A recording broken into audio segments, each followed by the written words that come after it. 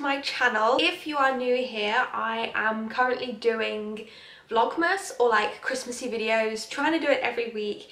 And this week I thought I would talk about my ski season. I do have pictures and videos from my ski season, however the videos aren't from the winter season that I was on.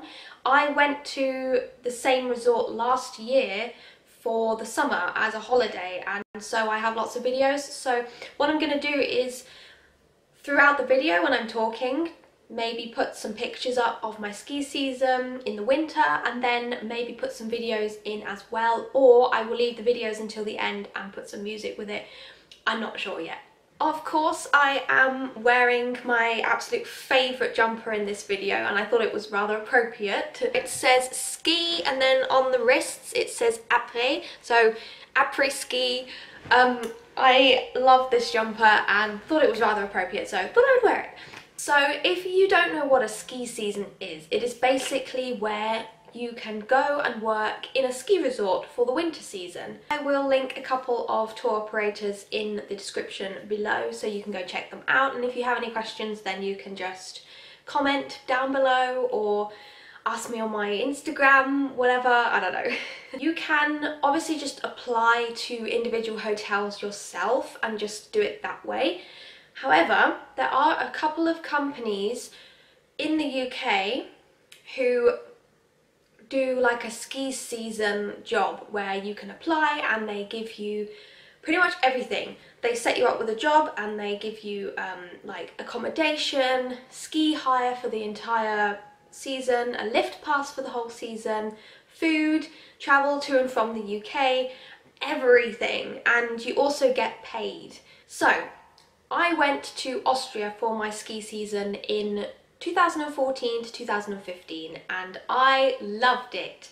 Looking back, it was actually like the best job I ever had and basically I worked in a hotel and I worked as front of house staff and what that meant was I was doing waitressing and housekeeping but it was kind of more than just that. It was kind of you know you didn't just clean the rooms you had to clean the lounge area and you had to sometimes I personally sometimes helped out with the kids there over Christmas with a little like activity they did or I would call the, the local taxi rank and ask for a taxi for the guests for example.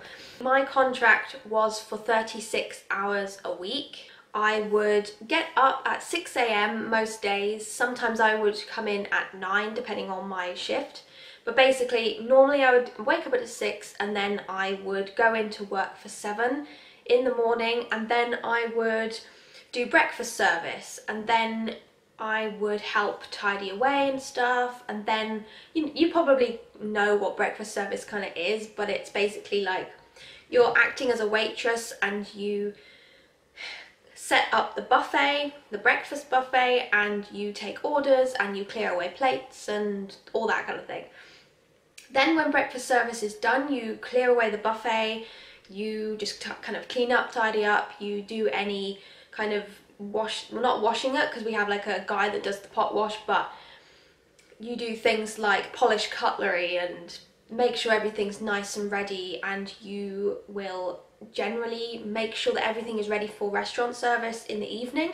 Then once that is done, I had breakfast for about half an hour and then after that I would go and do housekeeping and generally I would be finished around lunchtime. Then I had about a five hour break which meant that I could go skiing if I wanted to. I didn't do that much skiing really which is weird because I went on a ski season you'd think I'd be skiing all the time but I wasn't very good at skiing so that's why um, but lots of my friends went skiing like literally every day I personally went to the ice rink because I don't know if you know but I do figure skating so that's where I went and then sometimes I would also take naps or yeah most of the time I would take naps because unfortunately the hours were too much sometimes and the work was quite heavy and quite physical and sometimes you just really needed a nap. So after my five hour break I would then go back into work and I would go in for around six, I would have dinner and then I would do the evening service.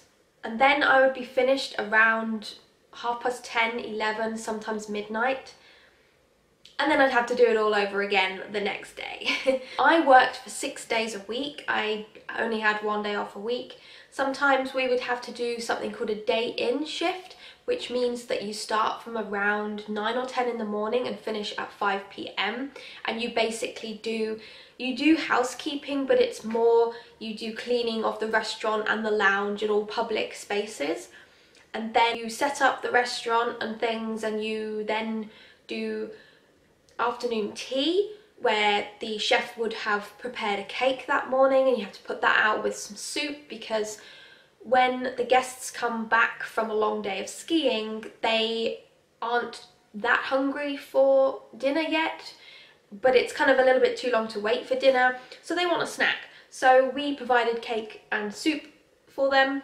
So that was what I had to do sometimes and then I would set up the restaurant for the evening service and then we would have dinner and then I could go home. But that was only once a week Mainly it was split shift, so I'd work from 6am to sort of lunchtime and then sort of 6pm till midnight. It was long and it was very tiring, I have to admit. But generally the work was quite good, it was enjoyable, um, the guests were very friendly, the people that I worked with were quite nice, I met some friends, so overall it wasn't too bad and obviously you're in a ski resort and you're in the mountains and like, you can't really complain. With my accommodation, I didn't live in the hotel for this particular hotel that I worked at. Some of them are different where they allow you to stay in the hotel, but for me, I had to walk about a 10 to 15 minute walk each day to work and the accommodation was in this chalet. It was very rickety and old and cold, but it worked. It didn't have internet, but it was enough for what we needed. We weren't really there that much because obviously we were working or on the slopes. So generally my ski season was really great and I really enjoyed it and I'm so glad that I did it because it's such a unique experience that even even now five years later I still talk about and it's like a kind of talking point in my interviews and things like that so it's quite unique and quite special and if you want to know how I applied, I basically applied in the summer. So if you want to do a winter season next year, because obviously you can't really do it this year because it's kind of started already, what you can do is apply in the summer before you go. If you want to apply for the 2020 to 21 winter season, you have to apply in summer 2020. You also don't have to be a good skier to do a ski season. Unless you are applying for like a ski guide role, then you don't have to be able to ski. You get lessons at the beginning of the season. So overall, I think it's a great experience and I would honestly recommend anyone who wants to do a ski season. Like if you're thinking about doing a ski season but you're not too sure, do it, do it! because it is the most amazing experience that you will ever have and it's so, I feel like it's quite, as I said, quite unique and something that you will never forget and it's something that you can put on your CV as well that makes you stand out. So thank you very much for watching. I hope this video sparked your interest in doing a ski season and if you have any other questions then please feel free to comment down below. And I will see you next time. Bye!